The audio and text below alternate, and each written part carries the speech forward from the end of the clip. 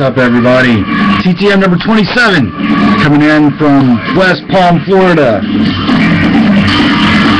Mr. Jimmy Key. It's the only one I got today. Oh, there you go. There you go. Can you see it? There you go. All right.